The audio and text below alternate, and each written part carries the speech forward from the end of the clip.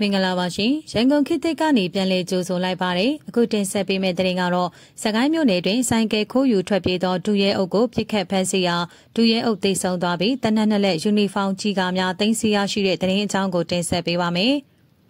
စကိုင်းတိုင်းစကိုင်းမြို့နယ်ကျွဲပုံပြူစောတိရွာမှာဒူရဲအုပ်တအုပ်ကပြည်သူဆိုင်ကယ်ကိုခိုးယူထွက်ပြေးစဉ်ဒေါ်လာရေးတပ်ဖွဲ့များကလိုက်လံပစ်ခတ်ပန်းစီရာဒူရဲအုပ်သေးဆုံးပြီးတနက်နက်လက်ယူနီဖောင်းနဲ့ကြီးကားများတင်စီရရှိခဲ့ကြောင်းနေစည်းမခြားစကိုင်းသားအဖွဲ့မှတာဝန်ရှိသူတအုပ်ကပြောဆိုပါရယ်။ ဇွန်လ17ရက်နေ့ကျွဲပုံပြူစောတိရွာမှာဒူရဲအုပ်တုံးဟာပြည်သူပိုင်ဆိုင်ကယ်ကိုခိုးယူထွက်ပြေးစဉ်နေစည်းမခြားစကိုင်းသားအဖွဲ့မှဒေါ်လန်ရေးရဲဘော်များကလိုက်လံဖမ်းဆီးခဲ့ကြောင်းဒူရဲအုပ်က6လုံးပြူတနက်ဖြင့်ပြန်လည်ပစ်ခတ်ရန်ပြုလုပ်ခြင်းကြောင့်ဒေါ်လန်ရေးတပ်ဖွဲ့များကပစ်ခတ်ဖမ်းဆီးခဲ့ရာအသေးဖမ်းဆီးရမိခဲ့ကြောင်းသိရပါသည်တည်ဆုံသွားတဲ့ဒူရဲအုပ်ထံမှ MA တက်တီတနက်တက်လဲ6လုံးပြူပစ္စတိုတနက်တက်လဲ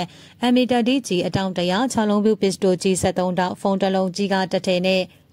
ကြီးကအိုးထုတ်တလုံးသိမ်းဆည်းရရှိခဲ့ကြောင်းသိရပါဗျ။ကျေးရွာတွေကိုမီးလိုက်ရှို့နေတဲ့ကျွဲပုံပြူစောတီရွာမှာတက်ဆွဲထားတဲ့စစ်ခွေးစစ်ကြောင်းတွေကဒူရဲအုပ်တယောက်ဟာပြည်သူပိုင်ဆိုင်ကယ်ကိုခိုးယူစီးနှင်ပြီးထွက်ပြေးသွားတာကိုပြည်သူတွေကသတင်းပေးလို့နေစည်းမခြားစကိုင်းသားဖွဲ့ကလိုက်ဖမ်းတာပါသူပိတ်မိသွားတော့ရဲခွေးက6လုံးပြူထုတ်ပြီးပြစ်ဖို့လှုပ်လို့ပြစ်ခတ်ဖမ်းဆီးလိုက်တာပွဲချင်းပြီးသေးပါတယ်။ကျန်နေတဲ့စစ်ကြောင်းကစစ်ခွေးတွေကိုဆက်လက်တိုက်ခိုက်သွားမယ်လို့တတိပေးပြောကြားကြမှာသ တိပေးပြောကြားချင်ပါတယ်ဟုနေစည်းမခြားစကိုင်းသားဖွဲ့မှတာဝန်ရှိသူတို့ကပြောဆိုကြောင်းသိရှိရပါတယ်။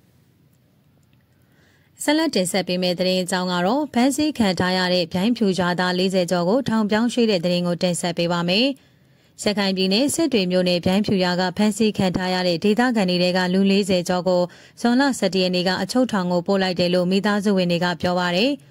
မနေ့ကမနေ့ကကားနှစ်စီးနဲ့လူ40လောက်ကိုအချုပ်ထောင်တွေကိုပို့လိုက်တယ်လို့လုံခြုံရေးရအမည်မဖော်လို့တဲ့ဒေသခံတအုပ်ကပြောပါရယ်ဒီနေ့မနေ့ကကားနှစ်စီးနဲ့လူပေါင်း40လောက်ကိုအချုပ်ထောင်ကိုပို့လိုက်တယ်လို့သိရတယ်။ရွာကလူတွေပေါ့အသက်50ကျော်ထိလူလက်ပိုင်းတွေပါတယ်သူတို့ကထောင်ချမယ်လို့ပြောတယ်။ကျွန်တော်တို့သွားကြည့်တော့တော်တော်လေးညှင်းပန်းနှိပ်စက်ထားတဲ့စစ်ကြောရေးမှာအဲ့ဒီထဲမှာကျွန်တော်ဦးလေးလည်းပါတယ်ထောင်ကိုပို့တဲ့အထဲမှာဟု၎င်းကပြောပါရယ်။ သူတို့ကိုရခိုင်တပ်တော်အေးနဲ့ပတ်သက်တယ်ဆိုတဲ့ဆွဆွဲချက်နဲ့တခါတည်းထောင်ချနိုင်တဲ့ပုံမှန်တွေနဲ့စစ်ကောင်စီကတရားစွဲပြီးထောင်ချဖို့လုပ်နေတာလို့လည်းဆိုပါတယ်။သူတို့ကိုရှေ့နေငါခွင့်မပေးသလိုဘလို့ပုံမှန်တွေတက်ပြီးတရားစွဲတယ်ဆိုတာလည်းမသိရဘူးလို့ပြောပါတယ်။ ဒီပြိုင်းပြူဒေသခံတွေကိုအချုပ်ထောင်ကိုပို့တယ်ဆိုတာနဲ့ပတ်သက်ပြီးစစ်ကောင်စီပြောခွင့်ရဗိုလ်ချုပ်စောမင်းထွန်းကိုသတင်းဌာနကဖုန်းနဲ့ဆက်သွယ်မေးမြန်းပေမဲ့လက်ခံဖြေကြားတာမရှိပါဘူးသတင်းဌာနအနေနဲ့ဒေသခံတွေကိုထောင်ပို့လိုက်တယ်ဆိုတာနဲ့ဘလို့ပုံမှန်နဲ့တရားစွဲတယ်ဆိုတာကိုပတ်သက်ပြီးတိကျအတိမပြုနိုင်သေးပါဘူးပြိုင်းပြူရရှိဒေသခံတရားကျော်ကိုစစ်ကောင်စီကဖမ်းဆီးကစစ်ကြောရေးမှစစ်ဆေးနေတာဖြစ်ပြီးအဲ့ဒီအထက်က 48ဦးကိုဇွန်လ9ရက်နေ့ကပြန်လွှတ်ပေးခဲ့တယ်လို့ဒေသအခြေဆိုင်မီဒီယာတွေမှာဖော်ပြကြပါတယ်။အင်ဂျီတထောင်ကျော်ရှိတဲ့ဖြိုင်းပြူရွာကိုမေလ29ရက်နေ့မှာစစ်ကောင်စီတပ်သားအင်အား190လောက်က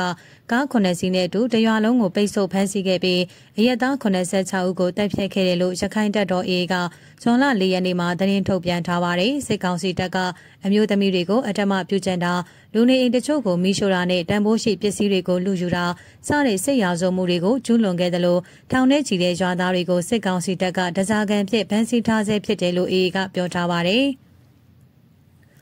စစ်ကောင်စီပြောခွင့်ရဗိုလ်ချုပ်စောမင်းထွန်းကတော့ဗျိုင်းပြူရွာမြောက်ဘက်ကကံပြင်းရွာဟောင်းနဲ့ကံပြင်းရွာတစ်ကနေစစ်တွေမျိုးတွေကို drone ပုံနဲ့လက်နက်ကြီးတွေပစ်ခတ်နေတာကြောင့်မေလ29ရက်နေ့ကဗျိုင်းပြူရွာတဲ့နေမြေလုံခြုံရေးဆောင်ရွက်ခဲ့တာလို့စစ်ကောင်စီထိန်းချုပ်ထားတဲ့မီဒီယာတွေကတဆင့်ဇွန်လ3ရက်မှာပြောထားပါတယ်။ အဲ့ဒီနေ့ကလုံခြုံရေးစစ်ဆေးနေစဉ်ဗျိုင်းဖြူရွာသားမဟုတ်တဲ့လူသုံးဦးဟာစစ်ကောင်စီတပ်သားတအုပ်စီကတနက်လူယူခဲ့တာကြောင့်ပြန်ပစ်ခတ်ခဲ့စဉ်အဲ့ဒီလူသုံးဦးသေဆုံးခဲ့တယ်လို့ဆိုပါတယ်အေးအေးဆွဆွဲထားသလိုရွာသား86ယောက်ကိုအစုလိုက်ပြုံလိုက်တတ်တာမရှိကြောင်းလည်းဗိုလ်ချုပ်စောမင်းထွန်းကညှင်းဆိုထားကြောင်းသိရှိရပါတယ်ဆက်လက်တင်ဆက်ပေးမယ့်သတင်းကတော့မြောက်ဥက္ကလာကြောက်ရည်တွင်တရားအောက်ကစိန်မန်းမြိုင်ရှင်ထိန်ယုံတိုက်ခိုက်ခရပြီးမော်တော်ဘီကနှစ်ယောက်ထိခိုက်ဒဏ်ရာရတဲ့သတင်းကိုတင်ဆက်ပေးပါမယ်။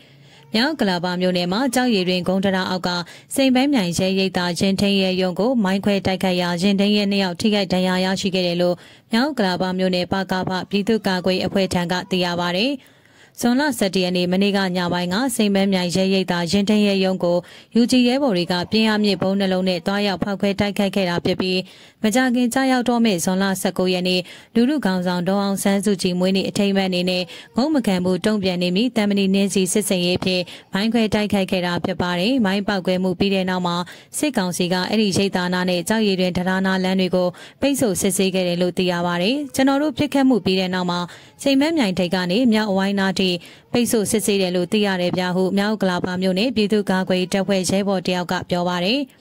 မြောက်ကလာပါမြို့နယ်ပြည်သူ့ကာကွယ်တပ်ဖွဲ့အနေနဲ့ပြီးခဲ့တဲ့မေလ25ရက်နေ့ညပိုင်းတုန်းကလည်းအောင်မင်္ဂလာတုံလမ်းမ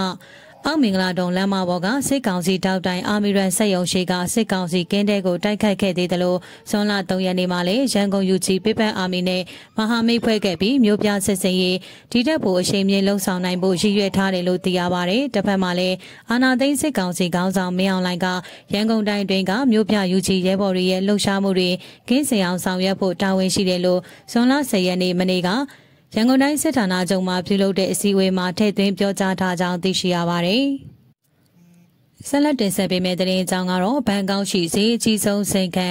စကုတ်လမ်ဆွမ်ကွန်ဒိုမှာမင်းအောင်လိုင်းတမီခင်တီရီတပ်မွန်နဲ့စစ်ဗိုလ်ချုပ်မိသားစုများကကွန်ဒိုအခမ်းများဝယ်ယူမှုကိုပြည်သူ့ရဲတပ်ဖွဲ့ကစုံစမ်းနေတဲ့အကြောင်းကိုတင်ဆက်ပေးပါမယ်။ထိုင်းနိုင်ငံဘန်ကောက်မြို့ရဲ့ဈေးအကြီးဆုံးစိန်ခံ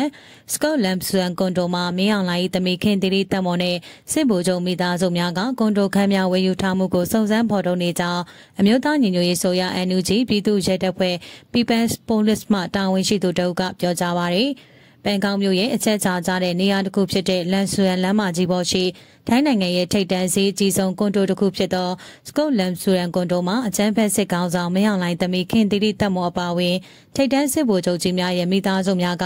နာမည်အမျိုးမျိုးကိုအတုံးချကကွန်ဒိုတိုက်ခန်းများဝယ်ယူပိုင်ဆိုင်ထားကြကြောင်းသိရပါတယ်။ ခင်တီရီတပ်မွန်နဲ့ထိတ်တန်းစစ်ဗိုလ်ချုပ်ကြီးများရဲ့မိသားစုများအတွက်အဆိုပါကွန်ဒိုမှာအခမ်းများဝယ်ယူနိုင်ရဲ့အဓိကကူညီဆောင်ရွက်ပေးသူမှာအေးချိုင်နာရဲ့တရားဝင်ကိုယ်စားလှယ်တဦးဖြစ်ခဲ့မှုတဲ့ဒေါ်တန်းတန်းလေးရဲ့သမီးဖြစ်သူများဖြစ်ကြောင်းသိရှိရပါတယ်။မြရဲ့ဖခင်ဟာ1990နဲ့1990ကာလနဝတအစိုးရလက်ထက်မှာဆက်သွယ်ရေးညွှန်ကြားမှုကကဆက်ညွှန်မှုဖြင့်တာဝန်ထမ်းဆောင်ခဲ့သော ODS ဆက်ချောင်းမှာ ဗိုလ်မှူးချုပ်ဟောင်းစိန်လေးဖြစ်ပြီးစစ်တပ်အတိုင်းဝိုင်းနဲ့နှိစက်သူများဖြစ်ကြောင်းအဆိုပါကွန်ဒိုအခန်းများကိုဝယ်ယူသည့်ကိစ္စမှာမြကတစ်စတူရန်မီတာလျင်ထိုင်းဘတ်ငွေ၈သိန်းနှုန်းခန့်ဖြင့်အခန်းများဝယ်ယူနိုင်ရန်ကူညီဆောင်ရွက်ပေးကြောင်းသိရပါသည်။ မင်းအောင်လိုင်းသမီးနဲ့စစ်ဗိုလ်ချုပ်မိသားစုများဝယ်ယူထားတဲ့အဆိုပါကွန်ဒိုမှာအိတ်ခမ်းတစ်ခမ်းနဲ့အိတ်ခမ်းနှစ်ခမ်းအိတ်ခမ်းသုံးခမ်းစသဖြင့်အခန်းအမျိုးအစားများပါရှိပြီးအိတ်ခမ်းတစ်ခမ်းပါ84စတူယန်မီတာကျယ်ဝန်းတဲ့ကွန်ဒိုတစ်ခမ်းလည်းရင်တန်ဖိုးအပြင်ထိုင်းဘတ်ငွေ3940ကျော်ခန်းရှိကြောင်းအိတ်ခမ်းနှစ်ခမ်းပါ154စတူယန်မီတာကျယ်ဝန်းတဲ့ကွန်ဒိုခမ်းမှာ3200ကျော်ခန်းရှိကြောင်းသိရပါတယ်။ အဆိုပါကွန်ဒိုဟာယမန်နှစ်မှာဆောက်လုပ်ပြီးစီးခဲ့တဲ့အသစ်ဆက်ဆက်ကွန်ဒိုတစ်ခုဖြစ်ပြီးအခန်းပေါင်း226ခန်းပါဝင်တဲ့34ထပ်ရှိတဲ့ အထက်မြင့်စိန်ခံကွန်ဒိုတစ်ခုဖြစ်ကြောင်းသိရပါတယ်။ကွန်ဒိုခန်းဝယ်ယူမှုနဲ့ဆက်ဆက်ပတ်သက်နေသူများကိုအမျိုးသားညီညွတ်ရေးဆိုရပြည်သူ့ရဲတပ်ဖွဲ့ကဆက်လက်ဖော်ထုတ်ကမှတ်တမ်းတင်ထားမည်ဖြစ်ပြီးဒေါ်လာရေးအလွန်ကာလရောက်သည့်အခါတရားဥပဒေအရအရေးယူဆောင်ရွက်ခြင်းပိုင်ဆိုင်မှုများကိုနိုင်ငံတော်ဗဏ္ဍာဖြင့်တင်စီခြင်းများကိုဆက်လက်ဆောင်ရွက်သွားမည်ဖြစ်ကြောင်း NUG အစိုးရပြည်သူ့ရဲတပ်ဖွဲ့မှတာဝန်ရှိသူတို့ကပြောဆိုကြောင်းသိရှိရပါတယ်။